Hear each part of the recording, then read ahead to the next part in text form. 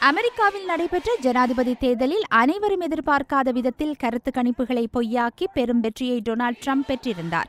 இதனையடுத்து நாடு முழுவதும் தொடர் ஆர்ப்பாட்டங்கள் நடைபெற்று வருவதோடு வன்முறைகளும் வெடித்துள்ளன.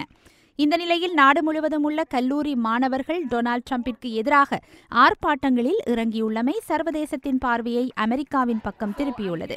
அமெரிக்க தலைநகரில் சுமார் இரண்டாயிரத்திற்கும் மேற்பட்ட இடைநிலை மற்றும் உயர்நிலை கல்லூரி மாணவர்கள் ஒன்று திரண்டு டொனால்டு டிரம்பிற்கு எதிராக ஆர்ப்பாட்டத்தில் ஈடுபட்டுள்ளார்கள்.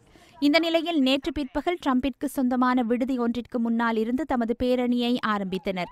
அமெரிக்காவின் புதிய ஜனாதிபதியாக டொனால்டு டிரம்ப் தெரிவானது மக்களின் இயல்பு வாழ்க்கையை மறைமுக மறைமுகமாக தாக்குவதாகவும் அவரின் தேர்தல் பிரச்சாரங்கள் தமக்கு அதிருப்தியை ஏற்படுத்தியுள்ளதாகவும் ஆர்ப்பாட்டத்தில் ஈடுபட்டிருந்த மாணவர்கள் தெரிவித்தனர். தலைநகர் மாத்திரமன்றி அமெரிக்காவின் பல்வேறு பகுதிகளிலும் மாணவர்கள் ட்ரம்பிற்கு எதிரான ஆர்ப்பாட்டங்களில் குதித்துள்ளார்கள்.